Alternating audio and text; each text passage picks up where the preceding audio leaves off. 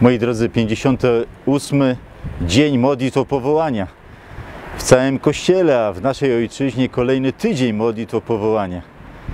Pragniemy razem z papieżem Franciszkiem podjąć ten czas w tej refleksji, gdzie przewodnikiem jest święty Józef i chcemy razem z nim rozważyć marzenie powołania.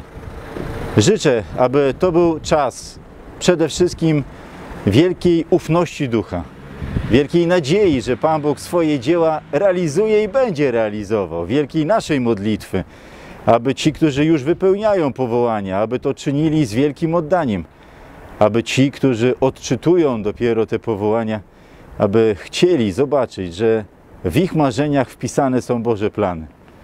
Niech Pan Bóg błogosławi, niech umacnia, niech przyniesie jak największe owoce duchowe, umacniające nasze parafie, nasze diecezje. Niech przyniesie pokój i tę siłę ducha dla tych wszystkich, których Bóg powołuje dzisiaj, aby odpowiedzieli i aby z ufnością i wiernością przeżywali swoje powołanie, idąc ku świętości.